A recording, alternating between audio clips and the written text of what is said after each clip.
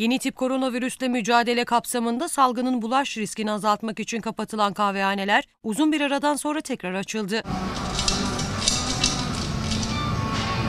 Özellikle emeklinin zaman geçirmek, arkadaşlarla sohbet belki de birkaç el oyun oynamak için gittiği kahvelerde oyun oynamak yasak olunca bu aralar sessizlik hakim. 65 yaş üstü sokağa çıkmayınca, üstelik oyunlar da yasaklanınca kahveler boş kaldı. Durum böyle olunca Bekir Berber de kara kara ay sonunda borçları nasıl ödeyeceğini düşünmeye başladı.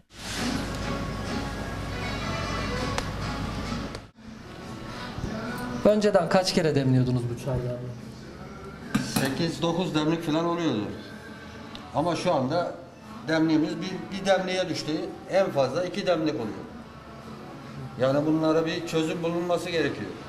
Kahvehane işletmecisi Bekir Berber, buraların insanlar için eğlence yeri olduğunu, oyunlar kaldırılınca bu duruma düştük dedi. Berber gazetelerin yasaklanmasının da işlerini olumsuz etkilediğini söyledi. oyun olmadığı için şimdi iskambil olsun, konken olsun, tavla olsun bunlar yasak.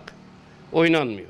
Oynanmadığı için müşteri bir çay içmek için de buraya kadar gelmiyor. Yani evimde de içebilirim de- demeye getiriyor.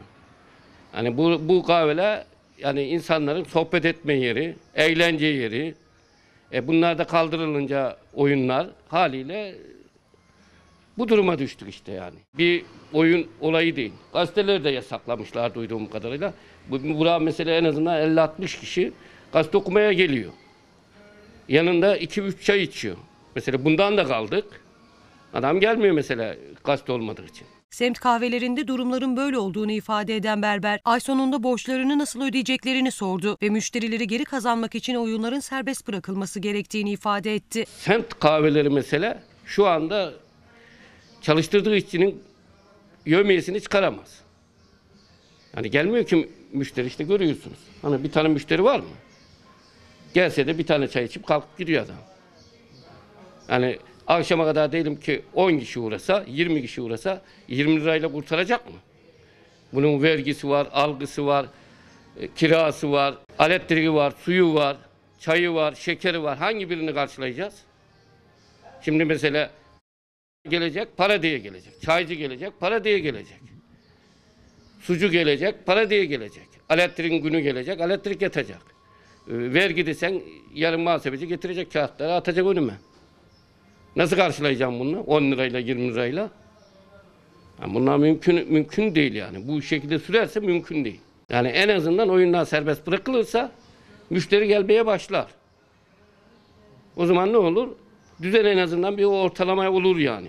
Başka türlü olmaz yani. Vatandaşlar da kahvehanelerdeki kısıtlamaların esnetilmesini istiyor. Tek başımıza geliyoruz. Kahve kültürü dediğimiz zaman biz zaten kahve kültürü bol olan memlekette yaşıyoruz. Bunları kısıtladı mı bizim hayatımız bitiyor. Biz buralarda oyalanıyoruz. Buralarda vaktimizi geçiriyoruz. Buralarda kendimizi stres altından Zaten tüketiyoruz. Zaten emeklilerin yaptığı şey bu. Emeklilerin kahveye gelip de bir oyun olmadıktan sonra buraya gelmenin bir anlamı yok. Git evde bomboş otur, yaşlan. Onun için lütfen büyüklerimize seslenelim buradan da e, bu şeyleri biraz esnetsinler.